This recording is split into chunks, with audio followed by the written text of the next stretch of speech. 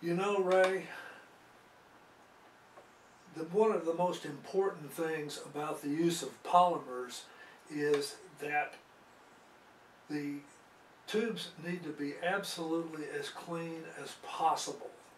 This is one of those cases where cleanliness, cleanliness is really next to godliness.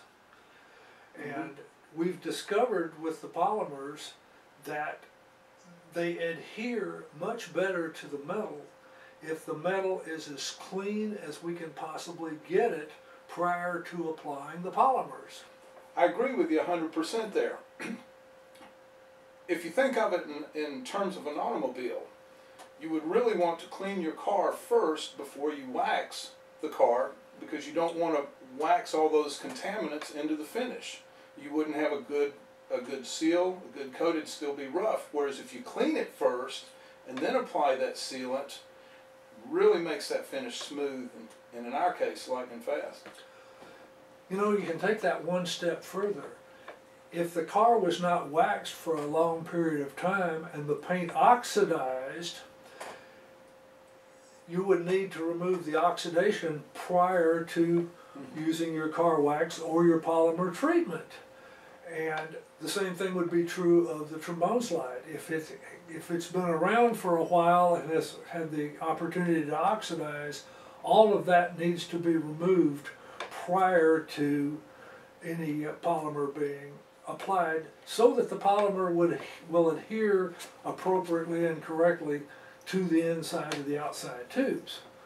And you know that's why I like to use the Wright's brass polish to do the cleaning before I really get into the, the Great Slide application.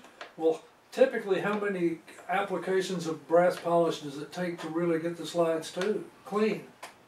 You know, that's on a slide-by-slide -slide basis. I, I've gone anywhere from four to six cleanings per tube and upwards of 20.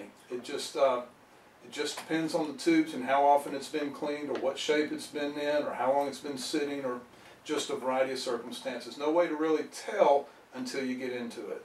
Well, how can you tell when it is clean? When you go to rinse it, that Wright's brass polish will run through those outer tubes and come out a milky white, kind of chalky color. Okay. Well, will you see differences on the rag when you wipe it out? Yeah, it, it, it lightens up as, as you clean and as you go. It'll, you can kind of tell that you're making progress and you're getting there. Okay. Well, I think we're ready to show how we apply the Wright's brass polish now. And I think maybe you want to explain to everyone why we're doing it here. Well, we're doing it here because where I usually do the Wright's brass polish, which is in, in the bathroom in there, it's just a small area and it's hard to film in there. So we're going to make the application in here and then once we're done we're going to head to the bathroom to rinse it out. Sounds like a plan to me. All right.